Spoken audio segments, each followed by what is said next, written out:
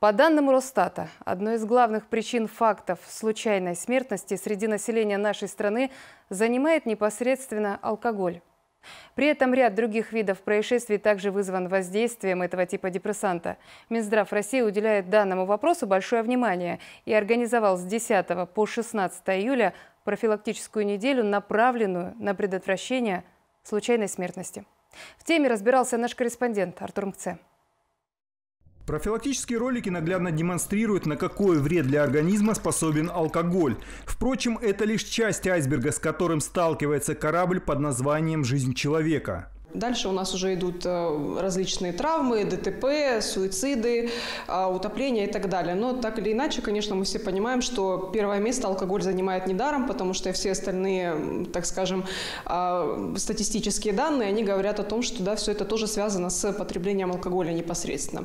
Для Карачаева-Черкесии, конечно, ситуация тоже достаточно серьезно обстоящая, как и во всех регионах нашей страны. То есть в целом мы с вами можем сказать, что у нас около трех тысяч людей, состоящих у нас на учете, так или иначе э, учетность связана с употреблением алкоголя. Немало автомобилистов нашей республики предпочитают садиться за руль, приняв изрядную долю спиртного, то ли для храбрости, то ли из-за отсутствия мозговой активности и понимания возможных последствий.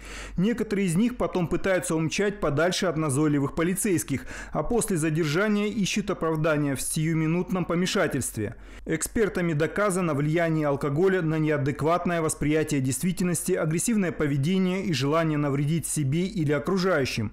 Понимая серьезность проблемы, проблемы Минздрав России объявил неделю с 10 по 16 июля профилактической, направленной на предотвращение случайной смертности. Увы, алкоголь, он так влияет на головной мозг, на центральную нервную систему, что даже одна выпитая рюмка, она стоит, собственно говоря, концентрации внимания, да, теряется острота зрения, восприятие цветов, чувство реальности, в принципе, нет, да, то есть мы уже не можем себя контролировать. Плюс, конечно, у нас еще то, что касается алкоголя, смертность от контрафактного, да, алкоголя. Мы все знаем, что тоже вот была буквально недавно у нас довольно серьезная ситуация в нескольких регионах, да, когда люди отравились э, контрафактным алкоголем, в котором содержался непосредственно метиловый спирт. Каждый раз приобретая алкоголь, человек так или иначе рискует. Причем высокая цена и наличие акцизных марок вовсе не гарантируют качество товара, а значит велик риск угодить в лучшем случае на больничную койку, не говоря о более серьезных последствиях. А такие тоже имели место. Специалисты считают, что человек ищет в алкоголе способ расслабиться или возможность уйти от проблем.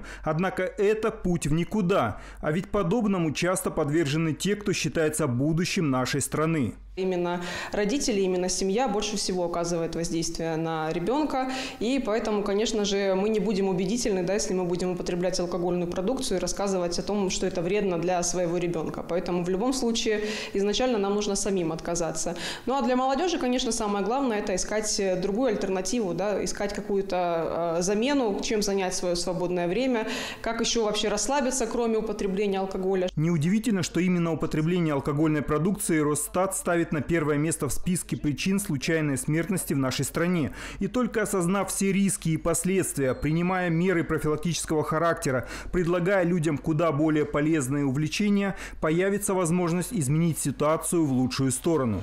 Артур Мухцер, Расул Бердиев, Вести, Карачаево-Черкесия.